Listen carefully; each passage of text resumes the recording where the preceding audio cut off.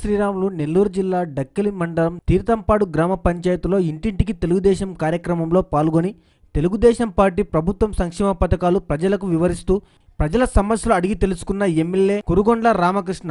ఈ కార్యక్రమంలో భాగంగా డక్కిలి మండలంలో అనారోగ్యంతో బాధపడుతూ ఆర్థిక సహాయం కొరకు అభ్యర్థించిన పలువురు ఆరోగ్య నిమిత్తం వైద్య ఖర్చులు గాను పదమూడు లక్షల రూపాయలు సీఎం రిలీఫ్ ఫౌండేషన్ చెక్కులను ఎమ్మెల్యే కొరుగుండ్ల రామకృష్ణ గారు అందించారు.